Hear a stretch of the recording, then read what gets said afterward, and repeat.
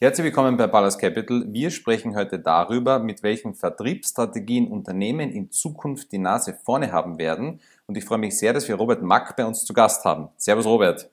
Servus Florian. Ich bin ja in Kärnten aufgewachsen, so wie du auch Kärntner bist. Und ich kann mich erinnern, in St. Veit an der Glan in unserem Einfamilienhaus ist hin und wieder ein Staubsaugervertreter vorbeigekommen, hat angeklopft und wollte meiner Mutter einen Staubsauger verkaufen. Das sogenannte Klinkenputzen. Äh, seit ich in Wien bin, äh, habe ich sowas nie erlebt. Also in Wien ist keiner zu meiner Haustür gekommen. Ist das Klinkenputzen tot? Die sogenannte Kaltakquise, die hat nach wie vor ihre Berechtigung, aber ich denke, die wird immer weniger äh, erfolgreich sein, weil sich die Welt verändert hat. Und die Welt hat sich verändert, unser Business hat sich verändert, das ist hybrider geworden. Und das heißt, der neue Klinkenputzer ist der, der dich über Social Media Kanäle erreicht mhm. und bei dir anklopft und sagt, hallo, darf ich dich adden? Kann man das wirklich so sagen, dass das äh, Social Selling sozusagen das Klinkenputzen jetzt komplett abgelöst hat? Oder gibt es die Klinkenputzer jetzt trotzdem noch? Ich glaube, Vertrieb oder Sales ist hybrid. Es braucht das eine wie das andere. Das Klinkenputzen, also die Kaltakquise, wenn man so möchte, hat ja schon ihre Berechtigung gehabt, weil worum geht es? Es geht darum, einen Erstkontakt zu bekommen. Meistens, wenn man über die Wächterinnen in den Vorzimmern der Chefs nicht vorbeikommt, dass man ein Gefühl kriegt, wer ist dort und nichts anderes war, ist das Ziel, einen Termin zu vereinbaren. Ja. Der Rest ist dann in der, ist also so gesagt eine Art von Vorakquise. Ja. Mhm. Heute ist die Vorakquise und die trennen den Sales-Prozess in die Pre-Sales, Sales und äh, After-Sales, also die Vorakquise, ist im Grunde noch der Bereich, wo man versucht, Kunden für sich, auf sich aufmerksam zu machen Kunden, potenzielle Kunden. Wichtig ist es, dass man die Kunden definiert, dass man sagt, wer ist mein Zielkunde, in welcher Branche, wie alt, äh, was, hat, was, was für eine, was für eine äh, Typ äh, ist es, den ich ansprechen möchte, dass man sich versucht, mit diesen Personen zu vernetzen. Der erste Punkt. Die Voraussetzung dafür ist es, dass man sich eine gute, ein gutes Profil zurechtlegt, ja? weil die Menschen suchen und wenn man gefunden wird, dann muss man einen guten ersten Eindruck hinter, äh, von sich abgeben. Gleich wie wenn ich jetzt bei dir bei der Tür hereinkomme. Der erste Eindruck entscheidet und der erste Eindruck auf der Homepage oder auf der Profilseite von LinkedIn oder von einem anderen Profil ist im Grunde noch der gleiche erste Eindruck. Jetzt gibt es ja viele Firmen, die im Internet schon Werbung machen. Andere sagen, das mache ich nicht. Ich mache keinen Sales Funnel, weil das ist unseriös, das Internet. Was sagst du solchen Kunden? Die Amerikaner haben schon vor zehn Jahren gesagt, der, den man im Internet nicht, nicht findet, den gibt's nicht. Den gibt's nicht, genau. Die sind mhm. suspekt, mhm. ja. Und das hat mittlerweile in Europa auch schon Einzug gehalten, wenn du im Internet als Unternehmen oder noch wichtiger als Einzelperson, weil wir reden ja, also wenn ich vom Vertrieb rede, dann ist das in erster Linie der B2B-Vertrieb also Industrie, B2B-Business. Wobei dort auch wieder ein Geschäftsführer sitzt, der ist auch wieder menschlich, da bist auch wieder face-to-face -face eigentlich. Ne? Und B2B ist People's Business genau. am Ende des ja. Tages. Und hat mit P2P. Also B2B, weiches und hartes B2B. Ja. ja. Und hat mit, mit Emotionen zu tun, hat mit Vertrauen zu tun. Ja. Und dieses Vertrauen gilt es aufzubauen egal auf welcher Ebene eben, persönlich, aber auch im Internet, dass du deine Seiten anlegst, dass du deine Profile anlegst, vielleicht deinen Werdegang oder gibt es da so Tipps? Man sagt, wenn jetzt eine Firma, es gibt in Österreich interessanterweise noch viele Firmen, die haben keine Profile. Ja. Und sie haben auch als Person keine Profile, weil die Geschäftsführer sagen, na, das will ich nicht, ich will mich da nicht herzeigen, ich will kein Foto von mir reingeben. Ja? Was, was, was sagst du so jemandem als Tipp? Ja, die Grundsatzempfehlung ist es, dass ich sage, es gibt Trend zwischen Social Marketing. Mhm. Da geht es darum, quasi im B2C-Bereich oder auch für Firmenprofile Masse zu machen, ja? Äh, Kontakte zu generieren und im Grunde noch geht es um Quantität. Ja? Wenn es aber um B2B geht, also wenn man Personen ansprechen möchte, und das kann der CEO machen, das kann der Unternehmer machen, das kann der Vertriebsmitarbeiter machen, dann geht es darum, dass man Social Selling äh, macht. Ja? Und Social Selling heißt, da geht es um Content, da geht es um Qualität, da geht es um die richtigen Ansprechpersonen, da geht es darum, sich davor Gedanken zu machen, wer ist mein Zielkunde, was beschäftigt meinen Zielkunden, mit welchen Botschaften kann ich für diese Person interessant sein, kann ich die Person auf diese Themen sensibilisieren. Und wenn dann der Zeitpunkt passt, ja, du brauchst auch nicht jeden Tag einen, einen neuen Mercedes, oder eine neue Uhr. Wenn aber der Zeitpunkt passt und wenn du darüber nachdenkst, dass du vielleicht deinem Sohn etwas kaufen möchtest oder etwas schenken möchtest, dann wirst du auf, in erster Linie als erstes auf die zurückgreifen, die präsent sind. Ja? Und die sind letztlich im Netz präsent, weil wir alle haben unser Handy, unsere Verbindung in die virtuelle, digitale Welt ständig bei uns und da wird gesucht, da wird recherchiert und da wird auch gefunden. Und deswegen ist das ganz, ganz wichtig. Und meine Empfehlung, die ich jeden äh, begleite, sehr viele Startups und natürlich sehr viele Industriebetriebe, die ich immer sehr gerne anbringe und versuche äh, auch zu, zu, zu hinterlegen mit Fakten, ist es, dass, es, dass ich wirklich empfehlen kann, macht eine, überlegt euch eine Social Selling Routine.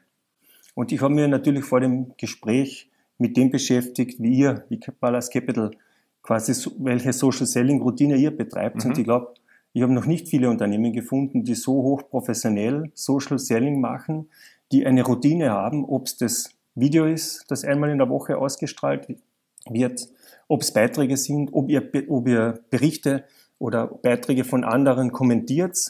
Und das alles kann man sich überlegen. Man kann sich überlegen, letztlich im Verkauf geht es immer um Ziele, es geht um Kennzahlen.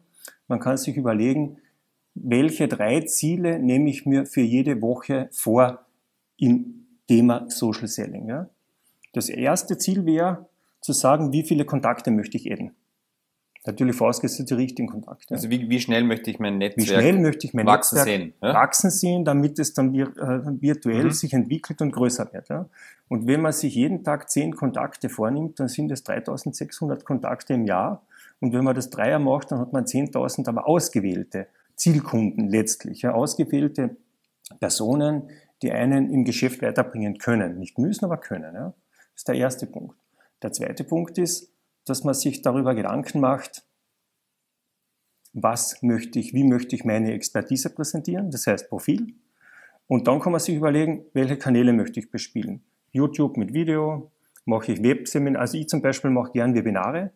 Das heißt, ein, ein Kanal für mich ist dann ein Webinar, das über, über, über Xing, über LinkedIn beworben wird, wo ich meine Community einlade, die, die Interesse haben, genau zu diesem Zeitpunkt an diesem Vertriebsthema, melden sich an. Das machst du kostenlos, nehme ich an, Mach oder? Kostenlos. Kriegst du aber dafür die Leads und hast ich Interessenten Kontakte, für dein Genau, Business, ich habe ja? Interessenten.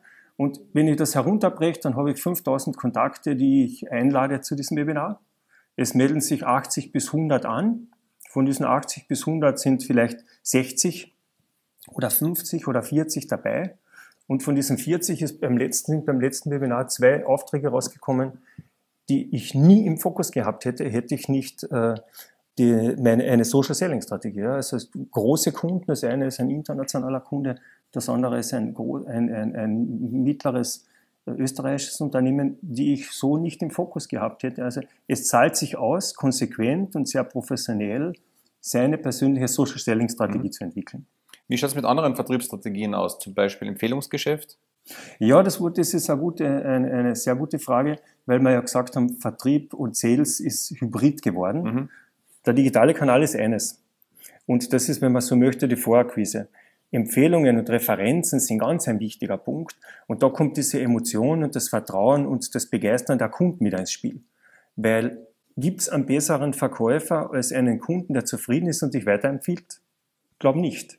Und das kann man auch instrumentalisieren. Also ich habe ich hab, äh, in Wahrheit ist das von mir so ein Steckenpferd, dass ich allen, äh, gerade Startups, aber auch etablierten Unternehmen wirklich versuche äh, zu empfehlen, dass sie letztlich auch eine Refer Referenz- und Empfehlungsmarketing in ihr Tagesgeschäft implementieren. Sprich, den Kunden sprechen lassen, Kunde der Kunde jetzt sprechen möchte. Ja? Genau. Ich war sehr zufrieden mit der Zusammenarbeit, das und das ja. ist passiert. Ja? Das, damit man das verwenden kann, damit mhm. man es autorisiert bekommt, damit man vielleicht, das ist die, das wäre quasi die Referenz, das, oder das wäre die Referenz. Es geht aber dann auch darum zu sagen, welchen äh, aus deinem Netzwerk, in deinem Netzwerk würdest du mir weiterempfehlen? Wer hat auch dieses Problem zu lösen oder diese Herausforderung? Und das ist noch wertvoller als nur die, die, die einfache Referenz. Ja? Weil wenn du darüber nachdenkst, wer aus deinem Netzwerk, und das ist relativ groß, im Durchschnitt ist der Kreis, in dem sich Menschen äh, aufhalten, und das sind ja immer gleich, meistens Gleichgesinnte, das sind 50, 30 bis 50 Personen bei einem normalen, bei einem normalen äh, Manager oder bei einer normalen Führungskraft. Und in diesem Kreis der 30 bis 50 Personen wird man immer drei, vier, fünf finden, die eine ähnliche Herausforderung zu bewältigen haben. Und wenn du als zufriedener Kunde von mir durch meine, sagen wir jetzt als Beispiel Vertriebsberatung in einem speziellen Segment einen dieser drei sagst, bei, einem Anlass, der sich dann ergibt, pass auf, schau dir den Robert Markern mal an. dann ist das kein Kaltakquise für mich mehr, dann ist das kein Neukunde. Der Kunde ist vorbereitet.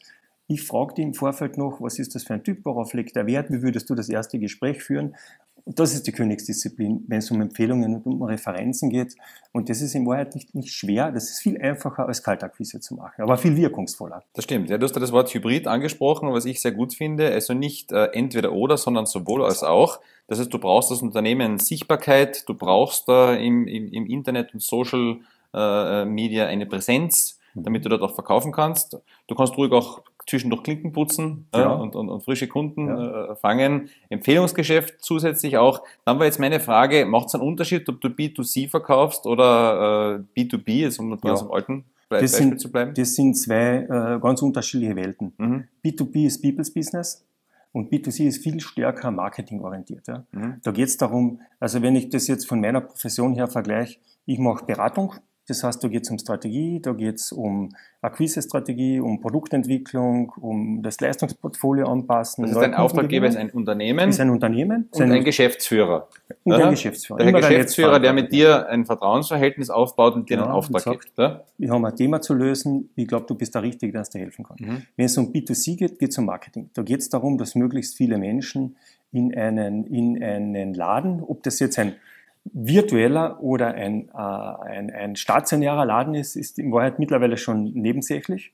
Es geht darum, dass Menschen ein Produkt kaufen, dass man Anreize schafft, dass man den Bedarf vielleicht schafft, Bedarf weckt, ja. dass man, dass man ganz bewusst äh, äh, Produkte einsetzt, die sehr niederschwellig im Preis sind, um einfach Kunden anzulocken. Und dort geht es dann letztlich ums Training, dass man die, die Verkauf, Verkaufsmitarbeiterinnen und Verkaufsmitarbeiter schult, weil letztlich diese klassische Frage, darf es ein Plattel mehr sein?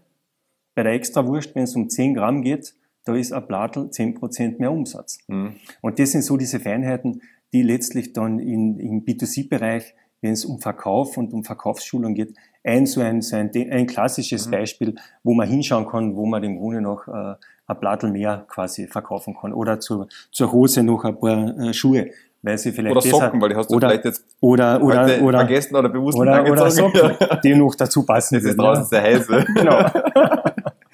Äh, du coachst Unternehmen also in beiden Bereichen, im B2C und im B2B. Schwerpunktmäßig im B2B, aber mhm. ich kann auch B2C, weil ich aus der Medienbranche komme mhm. und im Grunde noch äh, das, die werbetreibende Wirtschaft sehr gut verstehe. Was sagst du einem Kunden, der jetzt sagt, er hat B2B noch nichts gemacht, der hat ein paar Kontakte, er geht hin und wieder auf Netzwerkveranstaltungen, das macht der Geschäftsführer selbst, er hat noch kein Vertriebsteam zum Beispiel. Was könnte man dem sagen, dass er sein Business ein bisschen strukturiert? Was kann der im Internet machen? Wie, wie kann der diese, diese, dieses persönliche Element im Internet rüberbringen? Das ist sehr oft der Fall, gerade im kleinen und mittelständischen äh, Bereich, dass der Geschäftsführer der hauptsächliche Ansprechpartner am Markt ne? ist und im Grunde noch verkauft und die Organisation verantwortet. Die Grundsatzfrage da ist immer die, wo siehst du dich äh, und dein Unternehmen in den nächsten drei Jahren, so Vision. Ja, aber viele können ja nicht abgeben. Sagen, genau. Ohne mich rennt das Geschäft nicht, ja. ich muss immer den Deal machen etc. ist auch psychologisch schwierig für die Leute. Das ne? ist oft sehr schwierig ja. und, und, und da geht es ja dann meistens um Informationen. Und ich, ich erlebe das sehr oft, dass wenn man den Übergabeprozess nicht frühzeitig erkennt und mit einplant, ob das jetzt der Unternehmer selbst ist oder ob das einer seiner zwei, meistens sind ja nicht mehr, Säulen im Verkauf ist, ja. Wenn da nicht rechtzeitig übergeben wird, geht das ganze Wissen mit der Person verloren, weil die kleinen und mittelständischen Unternehmen ja sehr oft keine CRM-Systeme haben, schlechte Dokumentationen haben und das Wissen mit den Menschen ausscheidet und in Pension geht. Und dort setze ich gerne als erstes an, dass ich sage, wo ist das Wissen geparkt, wo möchtest du in den nächsten drei Jahren sein und dann ist die Frage, und, und wie soll das weitergehen? Und von dort weg versuche ich dann eine, eine, eine Vertriebsstrategie zu entwickeln, die maßgeschneidert für das Unternehmen ist. Ja? Mhm. Und ich habe noch keine Situation gehabt, die gleich war, obwohl es vielleicht in den gleichen Branchen oder die Unternehmen in der gleichen Größe waren, die man vergleichen kann. Es ist immer, also das ist halt mein Zugang, also sehr, ein sehr individueller und zum Teil auch sehr hemdsärmelig weil das halt am meisten hilft. Und die ganzen wissenschaftlichen Studien sind natürlich auch bei mir eine gute Basis, aber äh, ja. Und da muss man natürlich auch umsetzen. Ne? Wenn man so Tipps kriegt von Profis wie von dir, ja. muss man natürlich ins Unternehmen gehen und das auch umsetzen. Da sind Teil, wahrscheinlich ja. manche Unternehmen stärker, manche schwächer, ja. weil die Umsetzung ist oft äh, äh, schwierig zu, zu ein, handeln. Ein Riesenthema Ich kenne, also es ist nicht selten der Fall, dass Unternehmen zigtausend Euro für Strategiepapiere ausgeben. Dann kommt das kommt Tagesgeschäft. Schublade. Dann ist das in der hinteren Schublade unten drin und das Tagesgeschäft hat alle wieder eingeholt. Also ich lege in meiner, in meiner Arbeit wirklich Wert darauf, dass ich sage, es braucht dann immer wieder Etappen in der Begleitung, dass man sich Meilensteine setzt, dass dann die Meilensteine, dass es dann wieder ein Meeting gibt, dass das aufgerollt wird, ja. dass man reflektiert. Und reflektieren ist ganz ein wichtiges Instrument, das im Tagesgeschäft natürlich auch meistens untergeht. Und dafür gibt es ja uns Externe, dass wir ein Stück auch Spiegel sind der Realität in den einzelnen Abteilungen und, und, und Firmen. Ne? Ja, vor allen Dingen habt ihr auch einen Blick von außen, ne, der Helikopterperspektive. Ja. Ne? Man muss ja auch die Firmenchefs ein bisschen rausholen äh, und sagen, macht was anderes und macht das damit. Du hast ja sehr, sehr viel Erfahrung im Vertrieb generell und auch im Verkauf. Hat es so Momente gegeben in deinem Leben, die so Aha-Erlebnisse waren? Also an der Kasse beim Verkauf, jetzt mit dem Upselling oder beim B2B, beim People's Business, wo dir um den Hals gefallen ist oder so gesagt, du hast mich jetzt von meinem Problem erlöst. Gab es so richtige Aha-Momente, wo du gesagt hast, jetzt weiß ich, ich bin am richtigen Weg und, und so läuft Verkauf und das ist wichtig? Das habe ich sage einmal, wenn ich es auf mich selbst äh, repliziere, weil wir gerade früher über das Thema Digitalisierung im Vertrieb mhm. gesprochen haben, dann habe ich so ein Mutmacherbeispiel. Mir ist es am Anfang auch nicht so leicht gefallen, äh, in die, umzuswitchen und zu sagen, Projektgeschäft heißt immer neue Kunden akquirieren. Mhm. Und das habe ich halt 25 Jahre immer analog gemacht. Ja.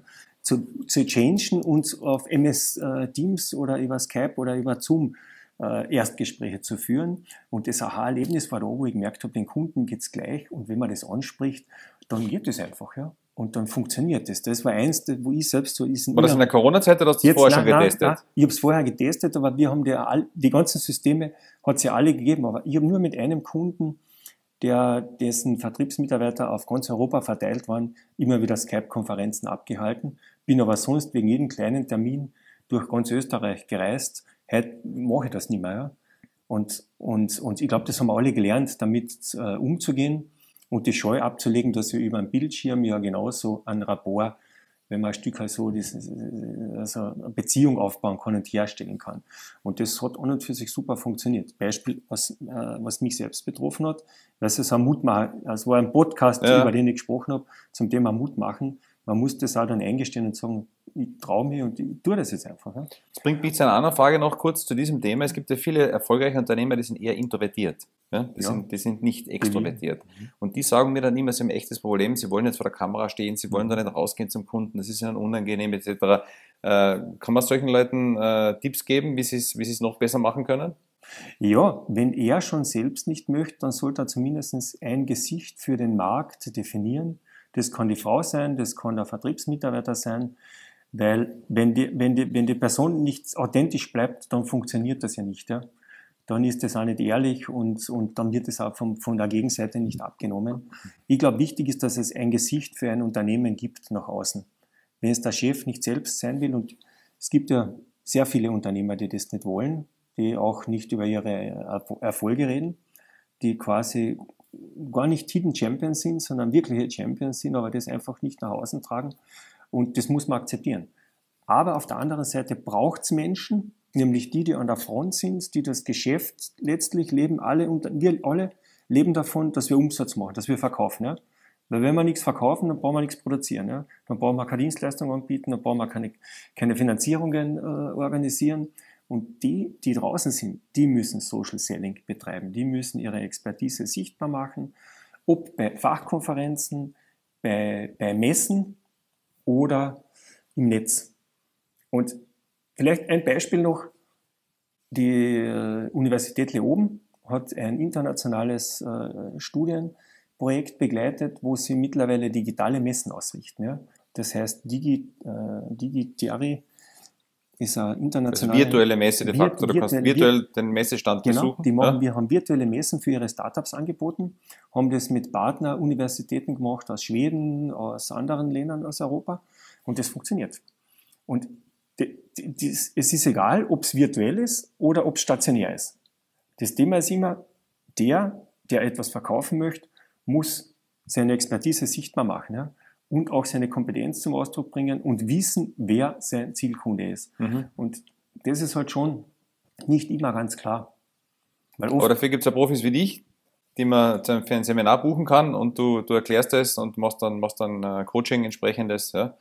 Oder mehrere Tage? Wie läuft das ab in der Regel? Also wenn ein Unternehmen so auf Orientierungssuche ist und die haben das noch nicht, äh, wie lange brauchst du, damit die ein bisschen so auf Flughöhe kommen? Ich starte da gern mit, ein, mit einem Status-Check, dass ich mir anschaue, wo steht das Unternehmen auf den sieben für den Vertrieb wesentlichen Säulen. Mhm. Von den mittelfristigen Zielen über die Kundenseite, über die, über die Produkt- oder Leistungsseite, über die Führung, über die Strategie, über die Akquise und mache mir so, und das ist in drei Stunden recht gut abgebildet, das ist ein strukturiertes Gespräch, dann habe ich einen guten Überblick und eine gute Auswertung, wo die Unternehmen stehen. Und von dort weg steige ich dann sehr punktgenau ein.